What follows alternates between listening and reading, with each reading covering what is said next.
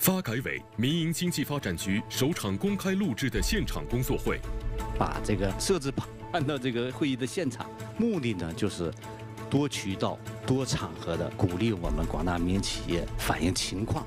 民营经济发展局和民营企业面对面探讨企业家们最关心的问题。管我们的部门够多了，又增加了一个部门，资源要素不对等，我们提了很多很多年了，一定要回款，再不回款揭不开锅了。我冒昧的问一下您，温州您碰到这种情况了吗？现场替您解决问题，好好梳理一下啊！大家期待的未来的这个民营经济处理法一定会对这些有所体现。民营经济发展新机遇正在播出，敬请关注。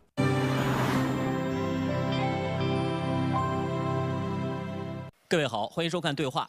聚制药、喝摘药，对话由赤水河上游贵州金沙高端酱酒摘药酒独家冠名播出，由做一条好轮胎的赛轮集团特别支持。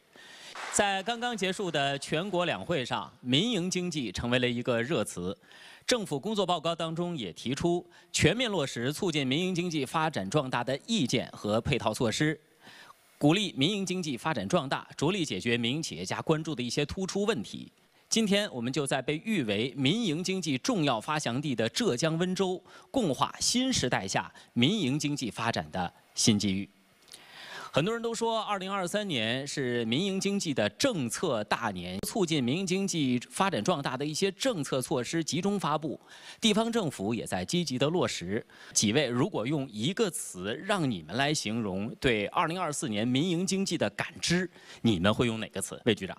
我想用一个关键词来概括，这就是稳中向好。张市长，您会用哪个词？提质升级。一位关注了增长率，一位关注了质量。民营经济呢，在总量中呢占比过半，那么它与各个经济的行业呢都有密切相关。总体来看，民营经济的供给和需求都在向好，运行的行是稳健的。前两个月，我国民营企业出口增速呢？是达到了百分之十九点二，比整个出口的增速快八点九个百分点。那么民间投资增速是百分之零点四，实现了由负转正，扭转了下降的这种局面。其实扣除房地产投资呢，我们民间增速呢是达到了百分之七点六。第二产业的这个民间投资呢，达到了百分之十二点五。规模以上的私营企业的工业增加值是增长了百分之六点五。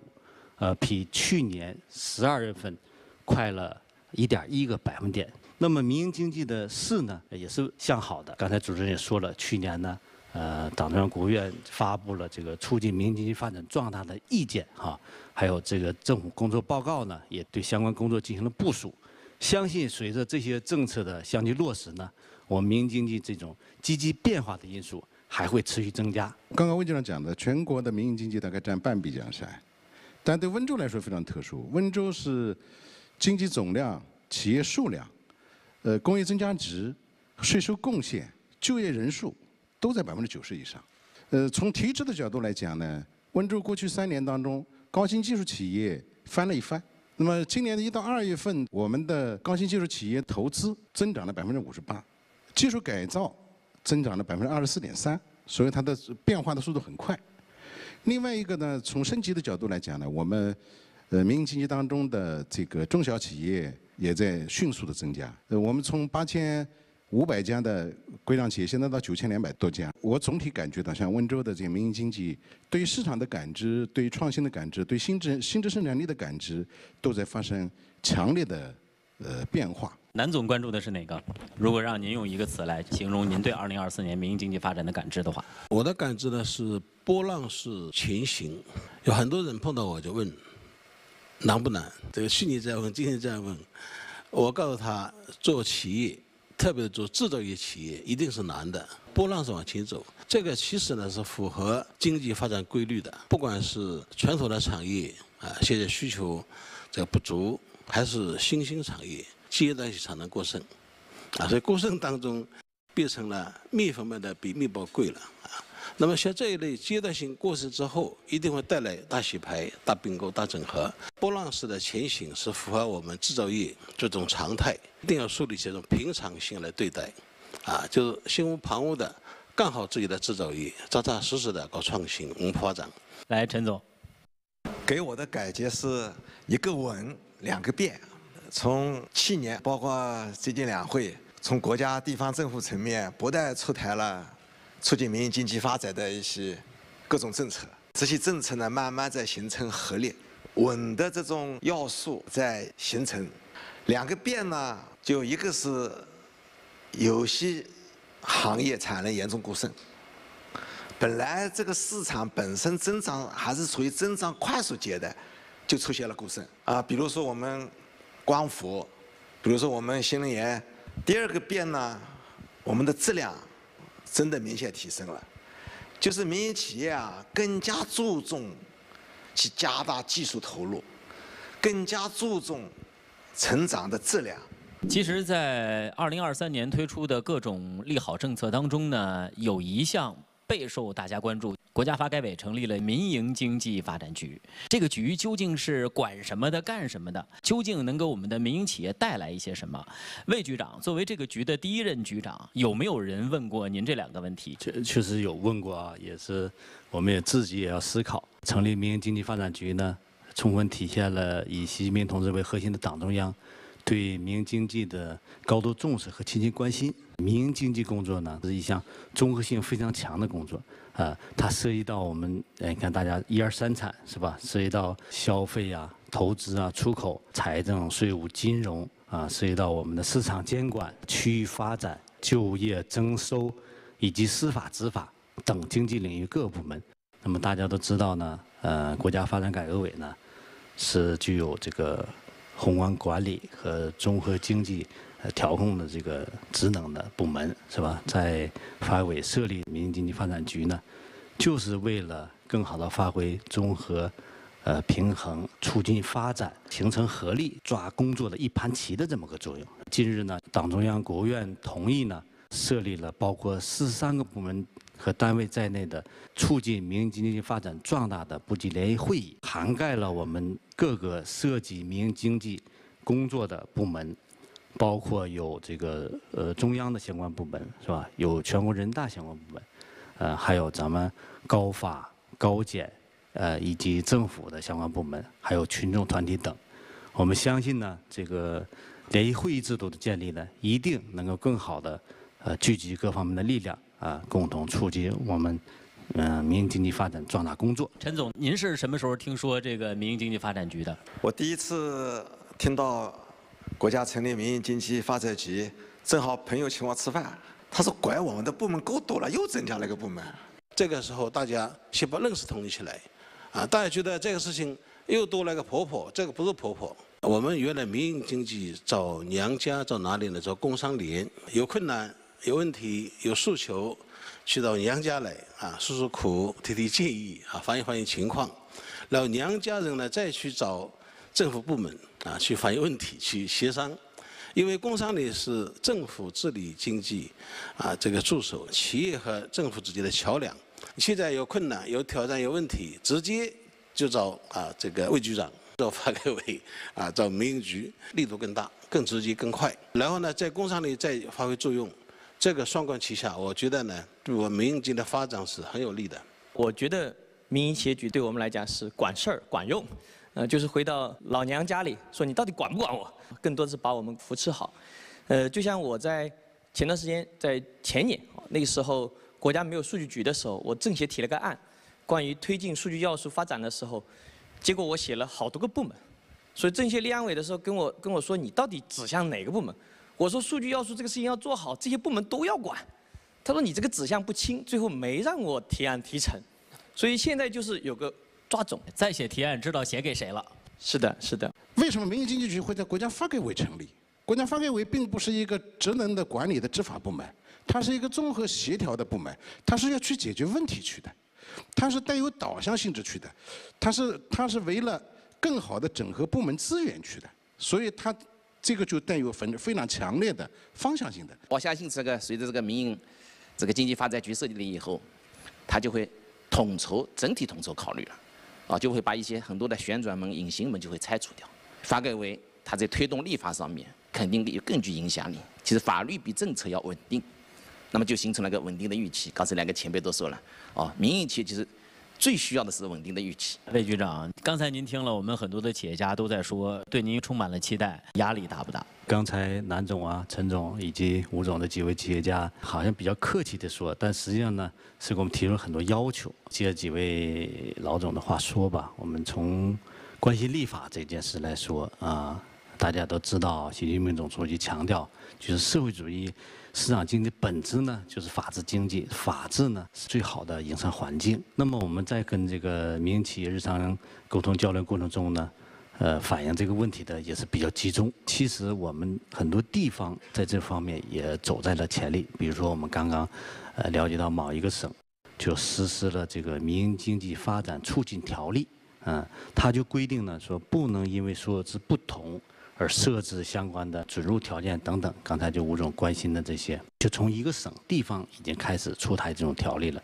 那么大家期待的未来的这个民营经济促进法一定会对这些有所体现。我们现在在举行的是国家发改委促进民营经济发展壮大的现场会。大约两个月以前，这个现场会呢在晋江也开了一个，很多人就很有困惑，说相隔的时间不长，这么密集的开，这是出于什么样的考虑？在日常沟通过程中呢，我们也是呃尽可能多的跟我们广大民营企业进行面对面的沟通交流，建立一个常态化的与民营经济沟通的交流机制。比如说我们召开座谈会啊，比如说我们召开现场会，还有像今天对话这种形式，把这个设置棚吧，我们搬到这个会议的现场，目的呢就是多渠道、多场合的呃鼓励我们广大民营企业。呃，积极的反映情况是吧？提出工作的意见建议，马上呃，我们建一个民营经济发展的综合平台，要要发布，大规模的呃，请一些企业家们，呃，请一些我们政府部门共同来研究、解决、推动呃民营经济发展过程中的堵点、难点、痛点问题，啊，给予相关的解决。魏局长说说搭建的是一个平台，张市长，您觉得为什么魏局长会选择温州？我觉得到温州来开这样的会议很有意义。温州这个地方呢，它自古以来就有重商文化的传承。早在南宋时期的叶氏创立了永嘉学派，讲的是经时致用、义利并举。在学界当中，同时与朱熹的理学、陆九渊的心学这三种传统的文化当中的呃思想，呃相互鼎立，形成了一种温州特有的，或者是在浙江啊。浙东啊，东南沿海啊，特有的这种施工精神，它有务实的文化，它有从商的文化。第二呢，温州被号称为百工之乡，它自古以来有手工业的这种基础，所以在碰到合适的改革开放的政策下面，就产生了耦合和激荡，形成了温州特有的企业家群体，也创造了带有时代标识性的温州模式。所以我觉得国家发改委把这样的会议放到温州来开。对温州来说是一个难得的机会，对民营经济发展来说带有重要的标志，对这个民营经济的促进和发展过程当中所秉持的，呃某一种精神特质，带有隐喻性质的。您觉得促进民营经济发展最重要的工作，您会选哪个？四个字来描述呢，还是要同向同行，好像它比较概念化。但是你如果要真正做到，其实不不是一件容易的事情。最早私营经济是有一补充。后来是社会主义市场经济的重要组组成部分。以前我们联系政府的是桥梁和纽带、工商联，现在是作为职能安排，在部门里设设定了特定的局，说明民营经济在国民经济发展当中的分量重了。首要的问题，要真正认识清楚民营经济是社会主义市场经济重要组成部分的本质特征。你只有认清楚它是重要组成部分的本质特征，你才会义无反顾的、真心实意的去做为民营经济促进和发展的事儿。其次呢，你是要在工作过程当中真正落实两个毫不动摇，这就是什么？这就是方针，这就是方向，这就是政策。你只有认清楚这个方向政策，你才会在执行政策过程当中坚定不移。真的要风雨同舟，要感同身受。我们不能从本位意识讲，说你政府，我想给你什么。它不是，而是要用第一视角和第一主体的观念去看待民营经济。我们只有在政策设计当中能够围绕企业的成本降低，包括用水、用电、用气、运输等等，围绕企业的税收环境的变化，围绕公平的法治环境的打造，围绕政府能够真正做到不过多的去干扰企业的发展，民营经济它自身的动力是天然存在的。魏局长觉得促进民营经济发展最应该做的工作是什么？大家都知道哈，我们这这个在各方面有利政策的大力支持下，民营经济发展总的态势是好的。但是呢，我们这个社会预期的偏弱，什么我们部分行业的产能过剩，以及我们这个风险，呃，这个隐患还是有一定存在。这些呢。在我们整个宏观经济上有体现。对于民营经济自身来说呢，分行业、分区域、分领域是存在大量的个性问题的。对于这些大量的个性问题，我们一一去解决，这对我们工作是有一定挑战的。张市长跟企业接触比较多，有没有哪些企业家跟您倾诉过他们遇到的一些个性化的问题？在市场监督管理的时候，检验检测，在同样一个城市里面，他要把他生产的产品要送到我们检测机构去检测。一百多公里的路，说起来远不远，说起来近真不近，那就需要我们政府的专门的服务机构带上自己的设备到他的一线现场去解决问题，帮他第一批货检完以后，同时把他的管辖权移交到当地，跨区域做的做的指指定管理，这个事情就解决了，这就是你应该服务要做的事情。所以像类似的这种情况的出现，会在现实当中很多，很具体，很具体。另外呢，就企业在克服一些技术难题。当然，大的企业有它的特定的途径和路径，但是我们不能忘记，大量的民营经济当中是中小企业。这些中小企业它没有信息渠道，它也很难承担过高的成本。那么在这个过程当中，我们就应该要有组织的，或者我们利用政府的部门的信息渠道，科技部门啊、技术服务部门啊，利用技术渠道去帮助他解决一两件。也许在科技人员解决起来举手之劳的事情，对企业就解决了大问题。所以这些个平台、这些个服务机构，都应该我们要做的。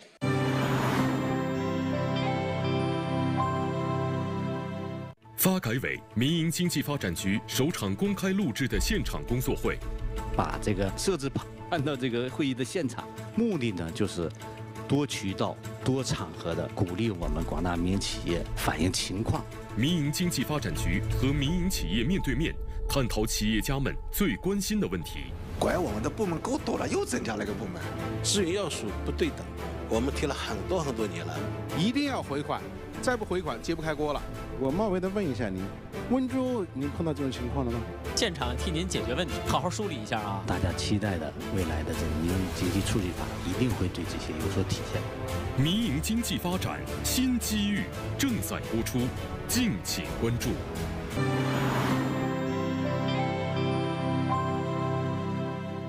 聚制药喝摘要对话由赤水河上游贵州金沙高端酱酒摘要酒独家冠名播出。国际局势风云变化的时代，我们还遇到很多新困难和新挑战。我们也做了一个总结，我们来看一下有没有在座的企业家，包括我们南总遇到过的这些挑战。我几乎都遇到过。啊，几乎都遇到过呀。大家觉得现在有三个关键词，第一个是安全感，第二个呢是要素资源不对等。啊，第三个呢，应该是出海难。其实我跟南总感受差不多啊。呃，一个是安全感，嗯，一个是融资存在的一些政策不合理，融资难，融资难，嗯，还有一个呢，走出去，国际化，呃，出海难。首先，安全感还不够呢，在法治的一个公开、公平、公正这一块上，还有。即很大的改进，市场化、国际化，一定需要法治化啊！很多企业来，因为我们工商里也好，这个在场总会有很多的企业来讲，啊，有些地方随意执法的、多头执法的、过头执法的，各种各样的情况。法治环境对于我们国家的经济发展壮大，特别对民营经济的发展壮大，我觉得至关重要。魏局长，我们民营经济发展局有没有什么解决方案和办法？民营经济促进法的立法进程在不断加快，这是一部新的法律。我们结合这项工作呢，也不断完善法律和制度的这种保障体系，清理这种涉及企业不平等的这个相关的法律法规呀、规章制度啊等等这个文件吧，就是鼓励咱们民营企业家敢干、敢闯、敢投，哎，咱们形成一个良好的这种呃法律的环境。法治环境问题，实际上这是民营经济当中的资产归属的人格化，造成了他对资产安全的焦虑。国有企业它为什么不焦虑？要非人格化的，所以他不会焦虑的。民营经济的它的资发展权、它资产所有权，当它受到损害的权益受到损害的时候，它一定是焦虑的，这跟它的身家性命相关联的。那么这就要求我们要做什么？我们从立法过程当中、法治的立改废的过程当中，你要考虑你的法律到底制定的合不合理。在地方当中，其实也经常会碰到一种什么问题呢？不同部门之间的协作，发展的政策向右，管理的政策向左，产生了这种合成谬误。不要今天你也来检查，明天也来检查，搞得企业无所适从。实际上，最近几年当中，这个浙江也好，包括温州也好，我们一直在。做一件事情，叫叫最多查一次，因为企业在行在在的发展过程当中，它有很多的边界是与社会相关联的。比方说安全生产，比方说环境问题。因为你企业是一个公共生产的领域，政府不能不管这件事。但是你不能把所有的事情都切开了一段一段一段一段的反复的不停的去干扰。所以我们就提出来，对企业的过程当中，你要做到精精准的监管。你要能够从各种信息渠道获知，能够感知到企业可能存在某些方面的问题，这是从法治环境当中的呃立改废的问题和合成谬误的问题和行政执法和法律运用问题当中，我们都得作为政府管理部门都得去思考这些问题。你真正把它作为一个创造社会财富的主体去看待，你就不会经常去干扰它，你就会让它一门心思去发展。第二个呢，融资。倒不是融资难，民企大部分企业你融资要你个人担保，担保不够回到家里边老婆担保，你这个发展就带来一种压力啊。国企办办这个企业不好了，比如说这个行业转型或者这个行业淘汰了，或者他自己办的不好倒闭了，哎，有一个国家有一个资产处置的啊一个机构。啊，可以重组啊，它的重组效率特别高，这应该是个好机制，但是民企这个机制就不通，啊，不一样的一种兜底保障，啊，这个我认为在成熟的法治体系下，就这个能够解决它。从中央到地方，对企业确实是够关心了，但是这一点。要，我认为是政府要想办法怎么来解决最后这一一段，把它解决掉。您家里经历过把自己家里所有的资产、夫人的都抵押出去了吗？我不知道过程当中签了多少字，也不忘了。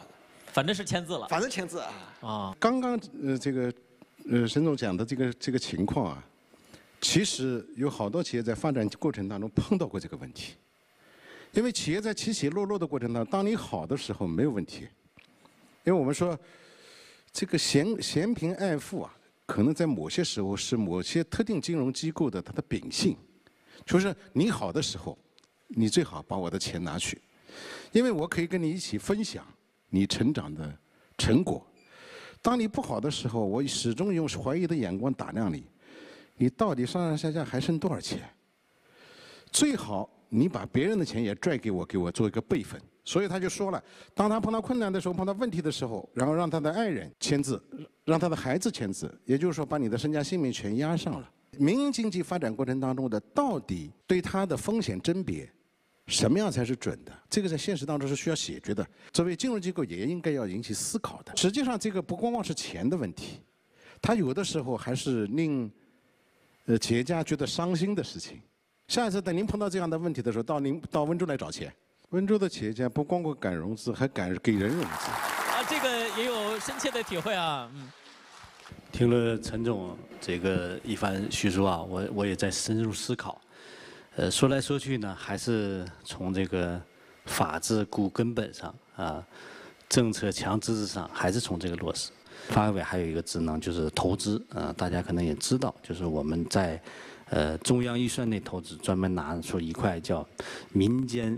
投资的引导专项，近期呢，我们也在国家发改委的外网上公开征求了对中央预算内投资民间引导专项这个管理办法的意见啊，希望大家呢广泛提出建议。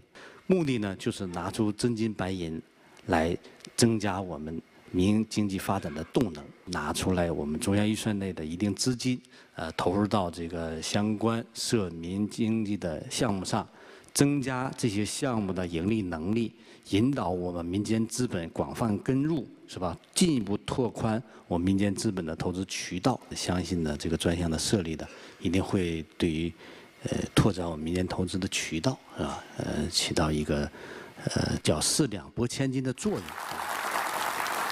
还有一个什么问题呢？资源要素不对等，我们提了很多很多年了。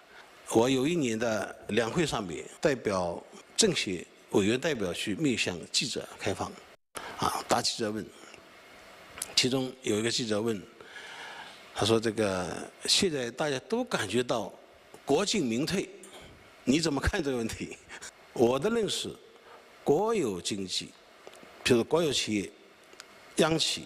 特别是大央企，规模大，块头很大，那些重资产、长期性、战略性的这一类的业态，我们认为民营企业是弄不动的，动不动都几千亿，啊，这个几百个亿、上万亿，而且持续的投，啊，比如说新能源、光伏、电站，大部队进来，这是主力军，所以它是国民经济发展的压舱石。这个时候，我们民营企业干什么？我从光伏这个这个领域，我们是优势在于创新的机制灵活，我们的决策响速度比较快，创新动力足，我们是经济发展的生力军。假如说我们生力军和主力部队、主力军两军会师的话，我们现在在西部发展光伏电站，啊，我们也配合国企央企，比如说复用光伏，一户一户一户一户把它做起来，做起来之后。然后我们把电站作为一个产品，打一个包，把这个股权转移，所以这个就是一个模式创新，这就是国民共进。所以我是觉得，从要素不对等来讲啊，其实这里有的确这个误区。那么我们民企呢，也是从小到大，从弱到强，慢慢慢慢的发展壮大。在发展壮大过程当中，你怎么去融入啊国家发展的要求？融入社会进步的环境里面，资源要素占有当中的不平衡问题，这个实际上是客观存在的。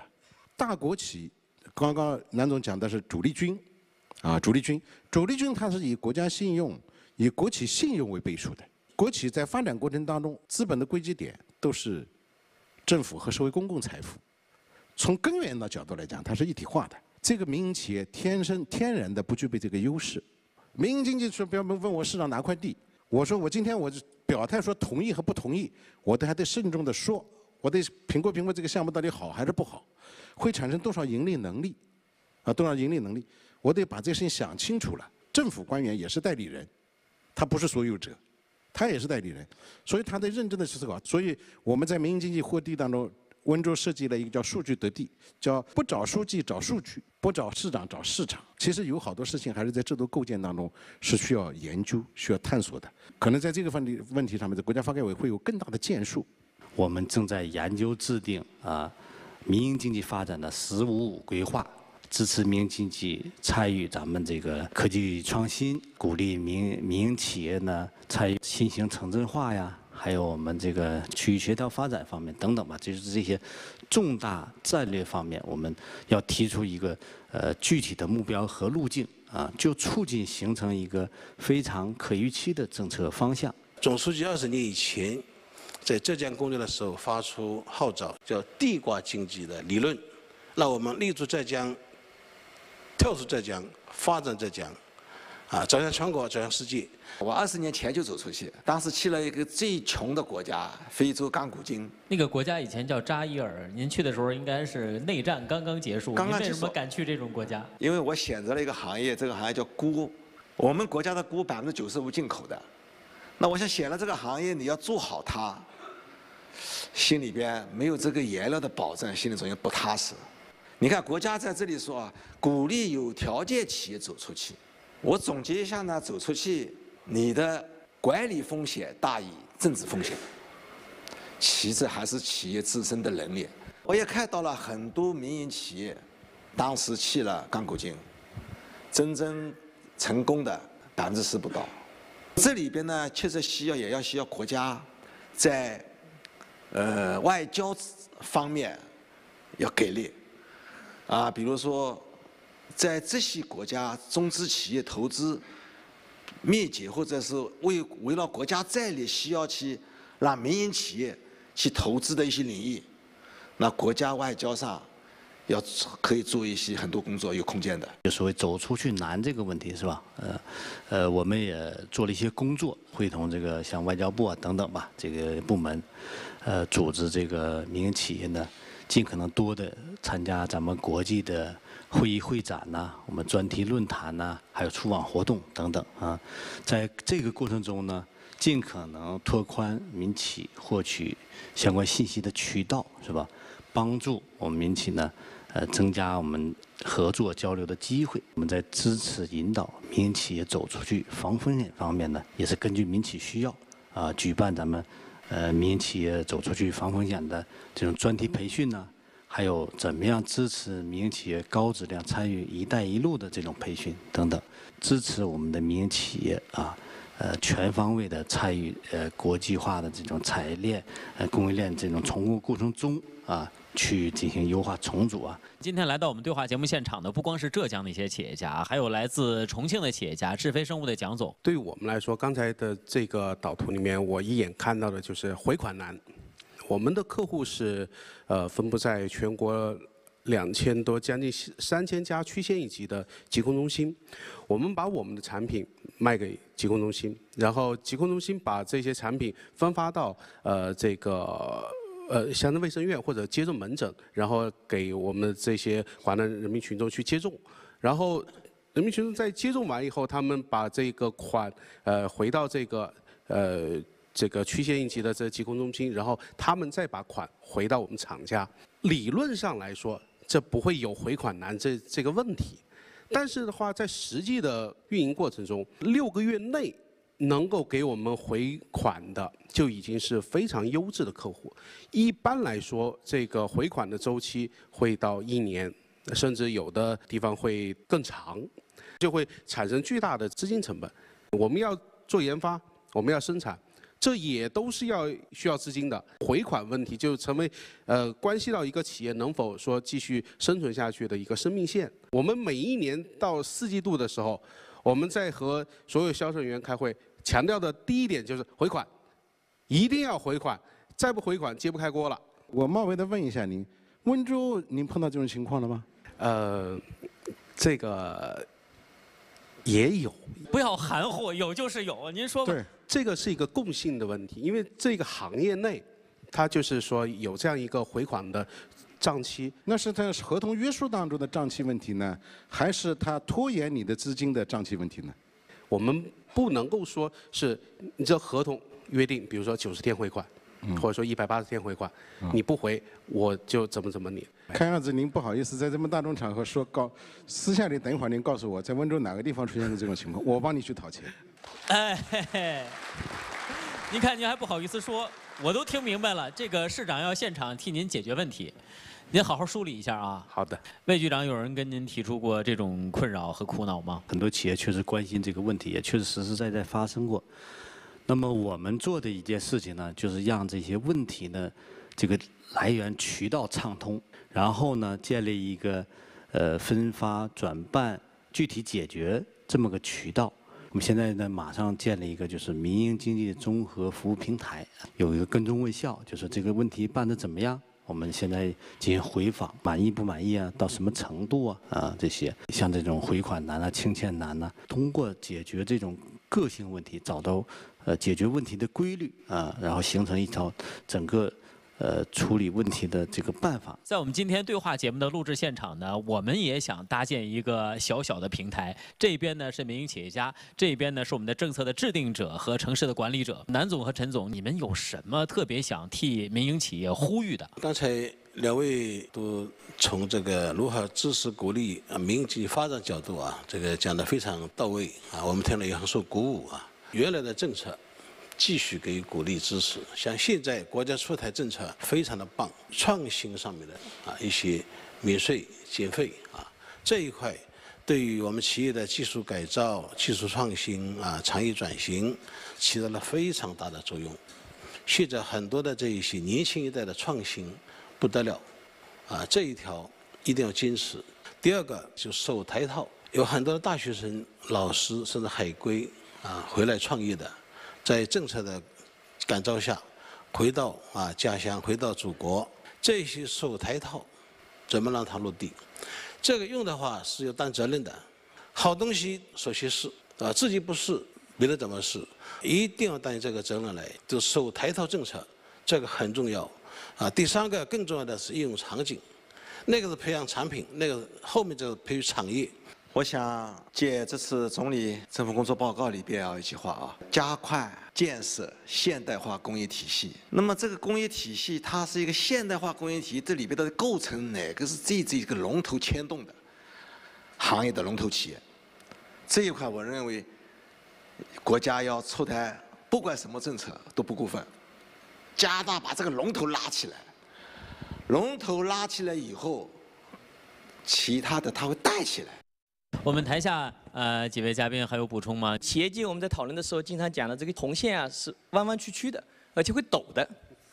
对，所以两个方法，一个是把这个红线按住，别让它抖；第二个呢，万一有点脚带到了不合适，喊停，别抓人。对于新业态的过程当中，能够让企业家敢闯，我想未来这个企业才能把这个第五要素真正的变成生产力。好，你要相信，它一定会稳定的。法律在执行过程当中，它会越来越细，把你的权责边界要固化下来，让你的在执行过程当中不要再抖动，不要再随意抖动。吴总，资源要素的分配上面，要充分考虑中小企业的贡献度，哎，贡献度来划分资源。现在地方政府给中小企业是很很不愿意给中小企业这个土地要素的。虽然说是五六七八九的贡献，这个五六七八九的贡献里百分之九十九的主体是中小企业。其实真正的大型企业占百分之一都不到。这些共性问题呢，它来自于我们这个一线的企业，对我们经济这种冷暖感知，哎，特别明显。它是我们制定宏观政策是吧，实施宏观调控的一个重要依据，是我们关注的分阶段的一个重点问题的解决，让这种渠道畅通，然后有解决问题的具体的方式办法，收一批企业，最后助力咱们这个一个行业的发展。二位希望我们的企业家用什么样的状态打开新局面？第一句话，我不希望你完美无缺，我希望你和我一路同行，和温州一路同行，这是第一句话。第二句话，企业有多少困难，我们政府就想多少办法。第三句话，创新是你们前进过程当中的使命，更是我们政府所面临的责任。都说信心比黄金还重要。我们有这个社会主义市场经济的这种体制优势，呃，超大规模的市场的需求优势，还有我们这个工业体系非常完备的这种供给优势，以及我们大量的高素质的和企业家这种人才优势。随着相关政策的逐步落实，我们相信，呃，民营企业高质量发展是有底气的。啊，所以说，只要我们扎扎实实，什么，办好自己的事情，我们民营经济的，一定会有一个美好的明天。我相信听了二位的表态，我们的民营企业家一定更有信心了。我是信心满怀。嗯。啊，我想在这个发展过程当中，困难天天有，我们也习惯了。嗯。赶上了真的这么一个好时代，真的不能荒废。啊，等不起，不该等。我我想 通过今天这个现场会啊，这个对话的话，让大家都感受到，首先是国家也好，政府也好，都在啊这个不断的支持鼓励啊我们民营经济的发展，民营企业家的成长。我觉得这一条啊应该要看到，所以要坚定信心。为什么要求大家树立信心？我说不抱怨，不躺平。你抱怨没用，你躺不平，因为你在爬坡过坎，坡是。斜的，你躺着会滚下来的，爬也得爬过去。把抱怨的时间和这口气转成创新、学习、学习、创新发展的动力。我们从历史性来看，每次危机一定会出现新技术、新产业的革命，进而来推动、带动社会的进步发展。谢谢，谢谢。今天在我们对话节目的现场，我们看到了民营企业家的激情澎湃，同样也看到了我们的政策制定者和城市管理者的真心和真情。我们也期待着通过他们的思想碰撞，能够为中国民营经济的发展创造无限可能。